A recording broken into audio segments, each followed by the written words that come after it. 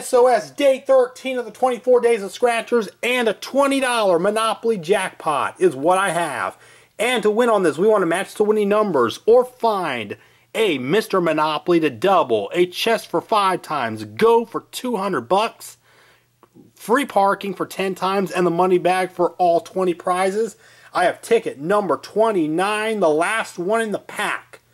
All right, and the winning numbers are 27, 11, 9, 33, a deuce, 26, 6, and 1.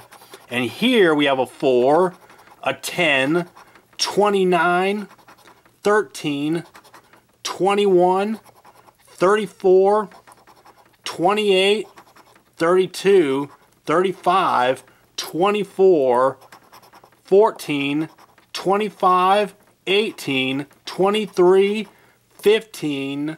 All right, none of those are matching. Last row here. 7, 8, 5, 31, and a 16. This Monopoly just took the pot out of jackpot, rolled it up, and smoked it. It's a loser. Like, comment, share, and subscribe. More 24 Days of Scratchers tomorrow.